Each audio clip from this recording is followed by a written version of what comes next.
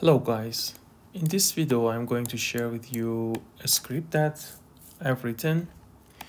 And the script is an auto rig script that rig a metahuman with a human IK with one click. And you just need to copy the script and paste it in the script editor which I'm going to provide it in the description so I'm going to copy the script and open the script editor. And in the MEL section, I'm going to paste it and control enter. As you can see, the character is anti-stand and rigged. Also, I need to mention that your MetaHuman should be the second version that has finger fit. Um, if it's not, you need to update it. Otherwise, the script doesn't work. And the script also make extra joint for IK, for fingers, and hide the joints. And if you want to see the FK, you can toggle this icon. You can see FK and obviously human IK is the best trick for motion capture. And also I think in my opinion it's also the best rig for keyframe animation too because it's a full body rig. And it means that one controller can affect other controllers. And it's very important very helpful for um, for uh, keyframe animation and also this IK pull which I will cover in another tutorial is very very helpful. And I haven't seen anything like that in any any um, predefined rig and um, I need to mention that this rig with MetaHuman seems to be a little slow but actually it's not slow when you want to play back the animation. It's not slow. It's just slow when you are using the controller. And in in order to make it faster you can hide uh, the head geometry and for body um, here it is body I'm going to hide the flip-flop and body and unhide the combined mesh. So combined mesh has a head too and it is useful for motion capture if you want to preview motion capture. As you can see it is fast. Now so let's talk about motion capture. Sometimes when you want to retarget the character, uh, something weird happened. Let me import a motion capture into this scene. Okay.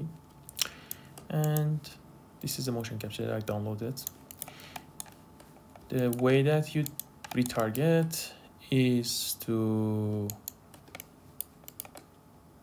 right click assume preferred angle most of the time the skeleton that you download from a motion capture site will go to t-pose by selecting assume preferred angle. And I'm going to make a new definition new one and load HIK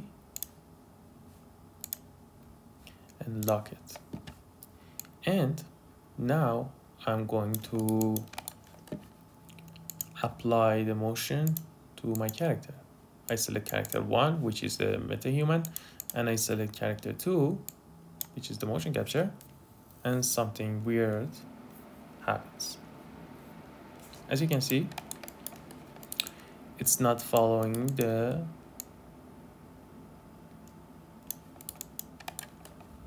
the motion correctly. And the reason is that if you take a look at definition, you can see the head geometry, the, the head joint is wrong. And probably the neck, neck is okay. But some of the joints go wrong. Selecting the right, the wrong um, thing, which is a, in this case, I think it's a joint or a geometry. For some reason it happens. And to fix that problem we need to um, characterize the motion capture in an empty scene. So I'm going to delete that as you can see the geometry. I'm going to delete that and delete character 2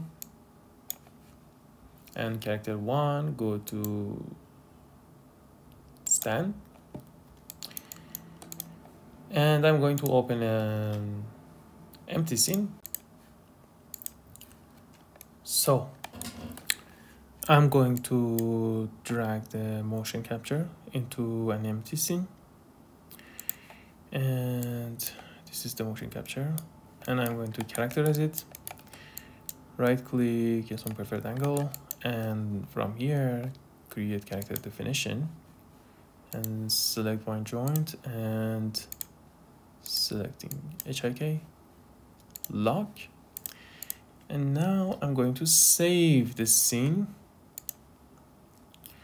which already I have saved as mocap and I'm saving it on top of it and in the other scene I'm going to, um, I can import it, but there is a better way because you want to get rid of the motion capture later after making the animation. You don't want to have extra file in your scene and instead of importing it, I'm going to reference it with, the, the shortcut of uh, Control R or you can do it here. Reference.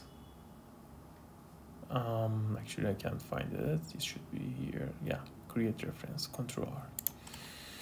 So i'm going to import the mocap. And as you can see it has a namespace mocap character one. So i can from character one to mocap character one. And as you can see now it's working.